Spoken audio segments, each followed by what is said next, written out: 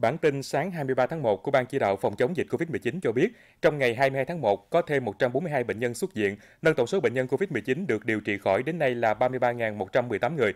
Hiện còn 1.405 bệnh nhân đang được điều trị, trong đó có 746 bệnh nhân được điều trị tại nhà, còn lại là tại các cơ sở y tế. Trong ngày 22 tháng 1 ghi nhận 4 bệnh nhân tử vong do COVID-19, nâng tổng số bệnh nhân tử vong lên 321 người.